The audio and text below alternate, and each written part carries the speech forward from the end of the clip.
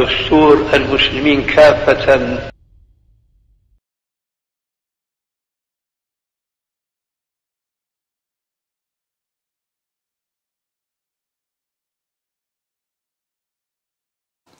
Esselamu Aleyküm ve Rahmetullahi ve Berekatuhu. Değerli kardeşlerim, bu akşamki dersimizin mevzusu Allah'ın kulları üzerindeki haklarıyla alakalı olacak. Bu meseleyi iki sahabe arasında gerçekleşen bir olayı aktararak başlayayım inşallah. Rabi diyor ki Allah Resulü Aleyhisselatü Vesselam Selman-ı Farisi ile Ebu Derda'yı birbirine kardeş kıldı. Sonra günlerden bir gün Selman radıyallahu anhu Ebu Derda'nın evine gittiğinde kendisini evde bulamadı ve kapıyı Ebu Derda'nın eşi Ummu Derda açtı diyor. Daha sonra Selman radıyallahu anhu içeriye giriyor, Ebu Derda'nın gelmesini bekliyor. Ebu Derda radıyallahu anhu geldiği zaman Ummu Derda ikisine de yemek hazırlıyor.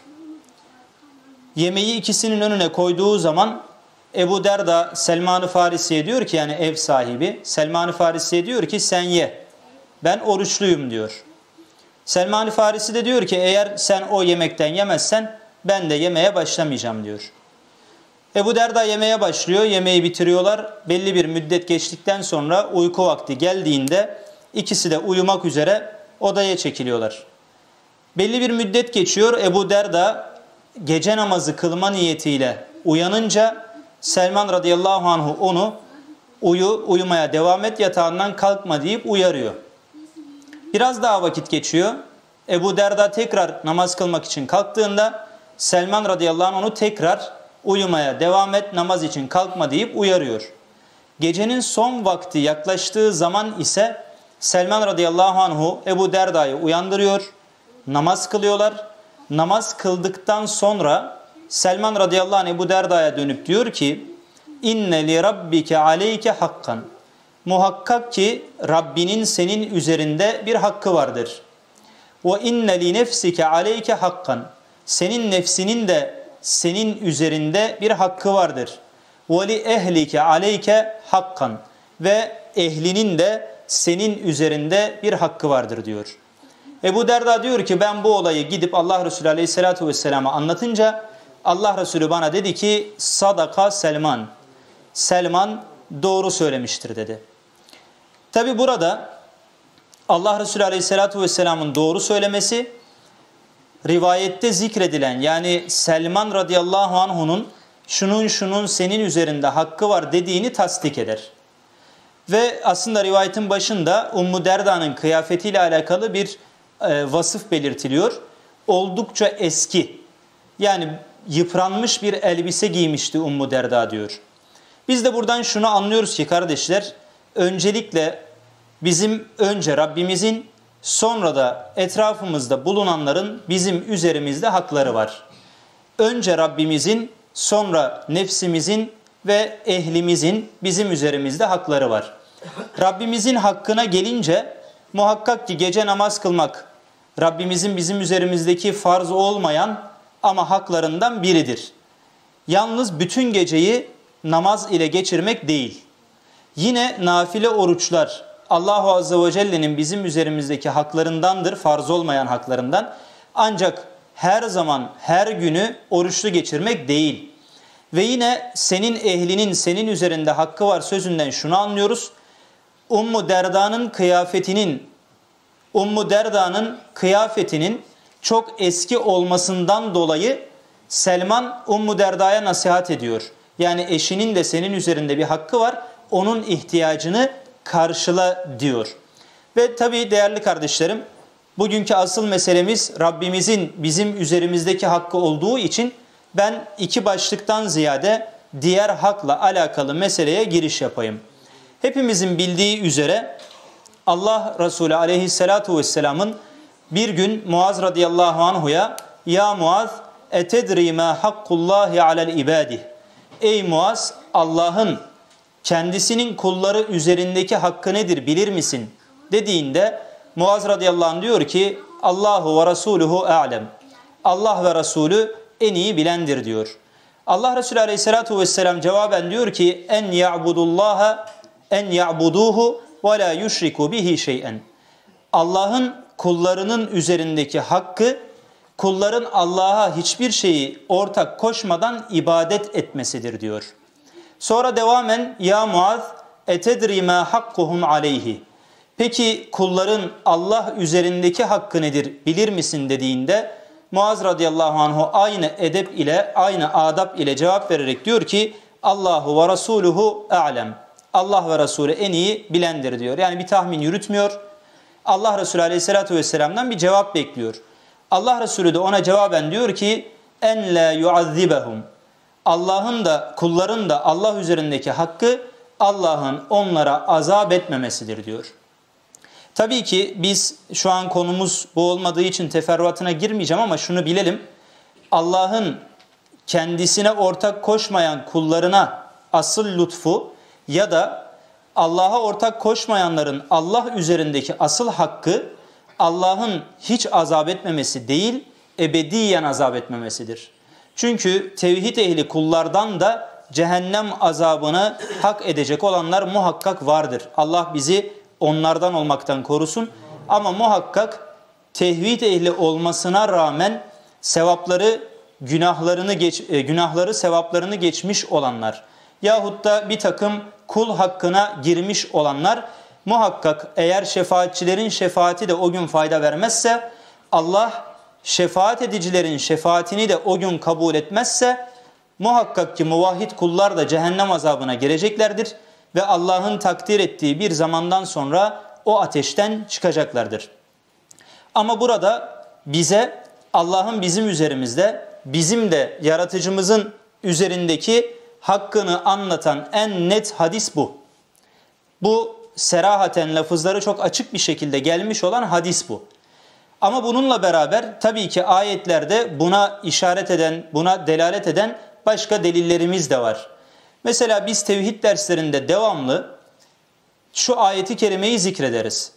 Allahu Azze ve Celle'nin Zariyat 56'da bahsettiği وَمَا خَلَقْتُ الْجِنَّ وَالْاِنْسَ اِلَّا لِيَعْبُدُونَ ayeti.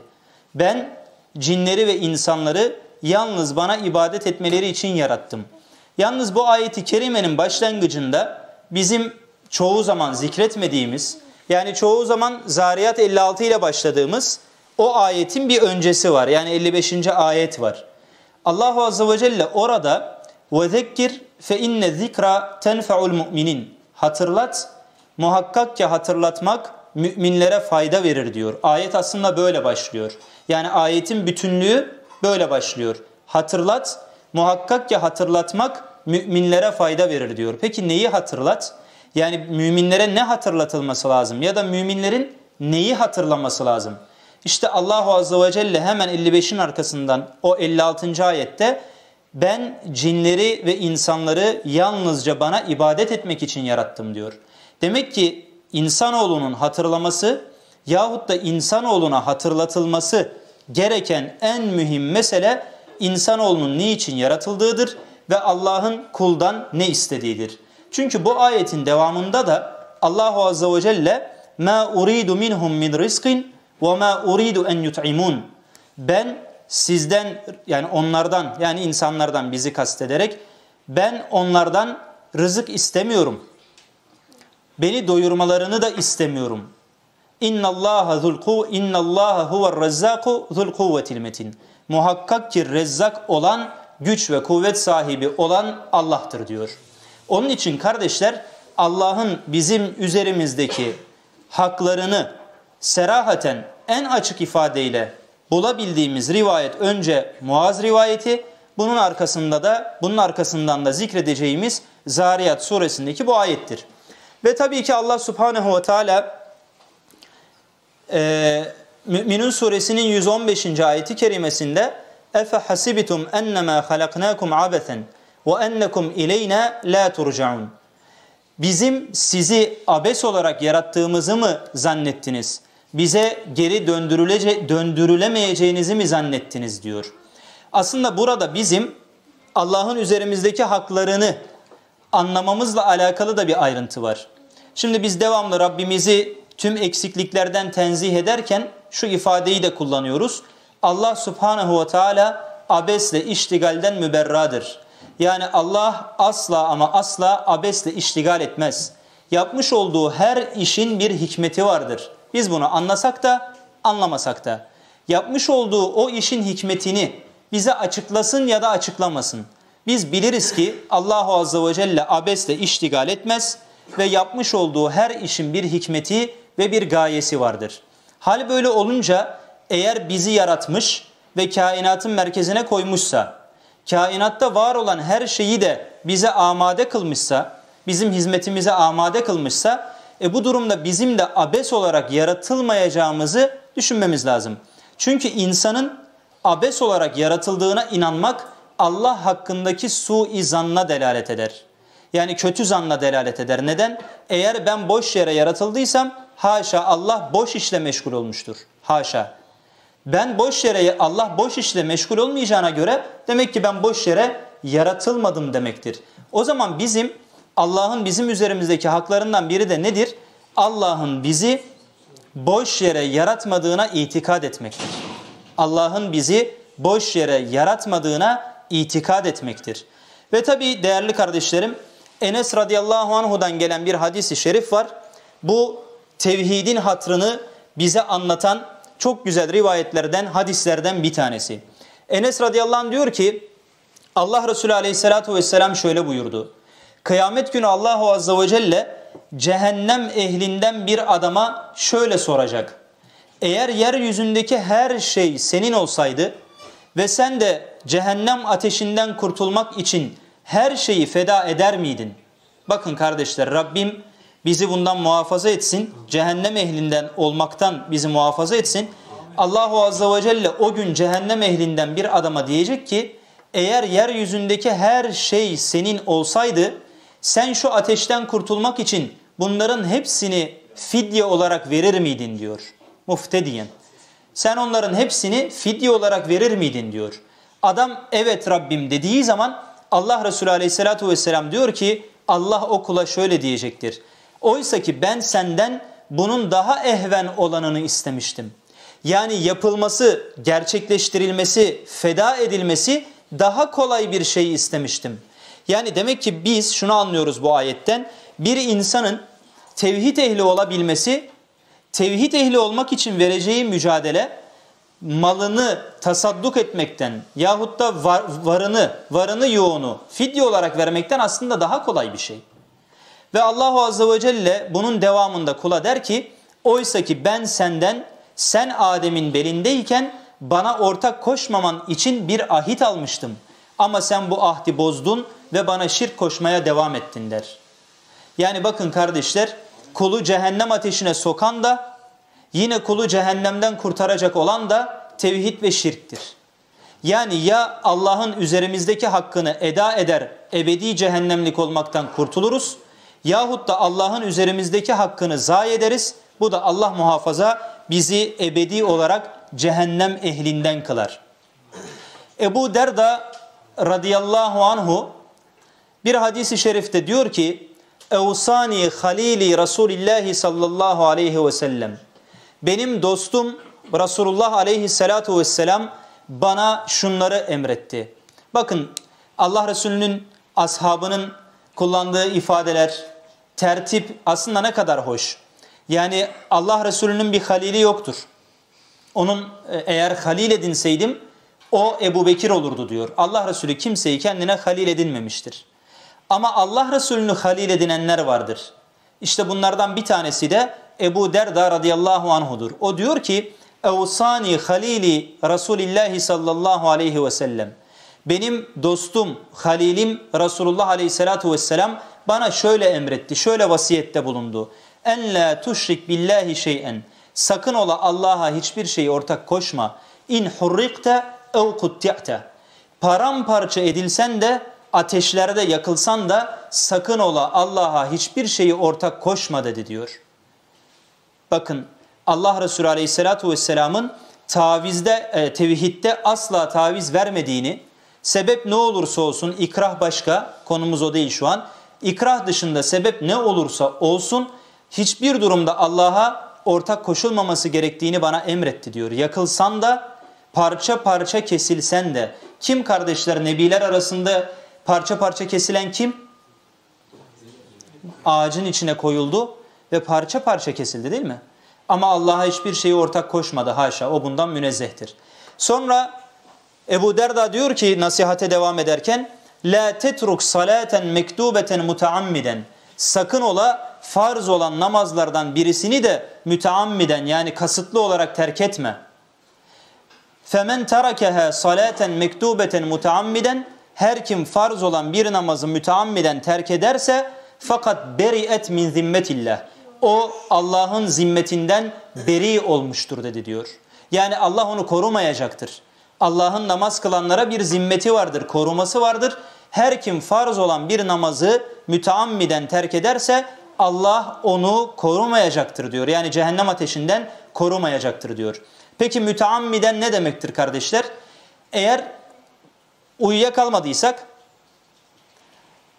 unutmadıysak yahut da bayılmadıysak yani zihnimiz kapanmadıysa, bizim irademizin dışında zihnimiz kapanmadıysa bunun dışında hiçbir şey bizim namazı terk etmemize ruhsat değildir. Bunun dışında bir kişi namazı terk ederse o kişi namazı müteammiden terk etmiştir. Yani kasten terk etmiştir. Bunu nereden anlıyoruz? Nisa suresindeki ayetlere bakın. 101, 102, 103. Özellikle 102 ile 103'e bakın. Allahu Azze ve Celle muharebe meydanında Müslümanların nasıl namaz kılmalarını onlara öğretiyor. İmam sabit kalır. Arkasında bir bölük yani ordunun bir kısmı safa durur. Cemaat olur namaz kılar. Diğer kısım ise Müslümanların diğer kısmı ise ellerinde silahlarla düşmanlara karşı o namaz kılanları korur. Sonra namazı kılanlar çekilir, namazı kılmayanlar gelir. Aynı vazifeyi onlar üstlenir. Yani imam iki rekat kılar, cemaat birer rekat değişir. Bunu neden anlattım?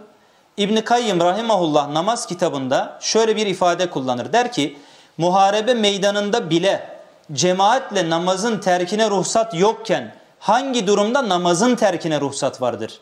Bakın şu cümle gerçekten çok önemli kardeşler. Yani muharebe meydanında belki de namazı terk etmeye ruhsat olsa terk edilmeye ruhsat verilecek tek yer muharebe meydanıdır. Çünkü ölümle karşı karşıyasınız. Burada bile bırakın namazı terk etmeye Allah namazı cemaatle kılmakla kılmayı emretmişken hangi durumda namazı terk etmek gündeme gelebilir? Onun için her kim müteammiden namazı terk ederse Allah Resulü Aleyhisselatü Vesselam'ın ifadesiyle fakat kefara yani Allah'a küfretmiştir. Yani cehaletin mazeretliliğini kaldırıyorum kafir olmuştur diyor. Bununla alakalı mustakil bir ders yaparsak orada da inşallah diğer delilleri zikretme fırsatı buluruz. Buraya kadar neyi görmüş olduk kardeşler? Allah'ın bizim üzerimizde hakları var. Bu hakkın ilki de tevhiddir. Ve tevhid Allah'ın bize ebedi olarak azap etmesinin önündeki en büyük engeldir. Yahut da bizim ebedi saadet yurdu olan cenneti kazanmamızın en büyük vesilesidir. Enes radıyallahu anh diyor ki Semi'tu Resulallah sallallahu aleyhi ve sellem yakul Allah Resulü aleyhissalatu vesselam'dan işittim. O şöyle diyordu. Allahu tebareke ve teala Allah tebareke ve teala şöyle buyurdu. Yani bu kutsi hadis. Allahu azze ve celle diyor ki yebne Adem ey Adem oğlu inneke ma da'avteni ve racavteni sen bana dua ettiğin ve benden umut um, yani ümit var olduğun müddetçe gafartu leke ala ma kana fik senin üzerinde bulunduğun hataları affederim ve la ubali ve hatalarını hiç de önemsemem. Sen bana dua ettiğin ve benden ümit var olmaya devam ettiğin müddetçe ben senin hatalarını affederim ve işlediğin günahları da aldırış etmem, önemsemem. Yine devamen diyor ki yabne Adem ey Adem oğlu lev belagat zunubuke enanes semai eğer senin günahların semayı doldursa thumme istagferteni sonra sen benden mağfiret dilesen Allahu Azze ve Celle devamen diyor ki leke ve la ubali. Ben senin o günahlarını da affederim ve hiçbir şeyi de önemsemem. Üçüncü cümlenin başında da yine diyor ki Yebne Adem ey Adem oğlu lev eteyteni bi kurabi bi kurabil ardi. Bi kurabil ardi hataya. Eğer sen bana dünya dolusu hata ile gelsen, eğer sen bana dünya dolusu hata ile gelsen, ثُمَّ لَقِيتَنِي لَا تُشْرِكْ بِي شَيْئًا ve bana hiçbir şeyi ortak koşmamış bir şekilde benimle karşılaşmış olursan le eteytuke bi kurabiha mağfireten. Ben de sana dünya dolusu mağfiret ile gelirim diyor. İşte tevhidin Allah yanındaki kadri, kıymeti budur kardeşler. Allah'ın da bizim üzerimizdeki hakkı ona hiçbir şeyi ortak koşmamaktır. Düşünün Allahu Azze ve Celle kendisine hiçbir şeyi ortak koşmayanın günahlarını affedecektir. Tabi hangi şartla? Kul istiğfar etmeye devam etme şartıyla. Yani kul günah işleyip pişman olmazsa, günahında ısrar ederse, fıskında, fücurunda alenen bunları yapmaya devam ederse Allahu Azze ve Celle ayeti kerimede der ki onları cehennem azabına sokarız ve o ateş onları çepeçevre kuşatır diyor. Ha yine de ortak koşmamışsa muhakkak cehennem ateşinden çıkar ama e, neticede tevhidin ondaki hakkı ne olur? Ebedi olarak ateşte kalmamasıdır. Evet kardeşler Allah'ın üzerimizdeki en büyük hakkı tevhiddir. Değerli kardeşlerimiz, ülkemizin birçok yerinde sürdürmekte olduğumuz tevhid davetini, imanı, küfre, tevhidi, şirke, iyiliği, kötülüğe üstün kılmak için sosyal medyada da sürdürmekteyiz. Siz de Yarpuz İslami Araştırmalar Merkezi YouTube kanalımıza abone olarak tüm hatiplerimizin derslerine ulaşabilir, tevhid davetinin başkalarına da ulaşması için kanalımızı paylaşıp bu davete ortak olabilirsiniz.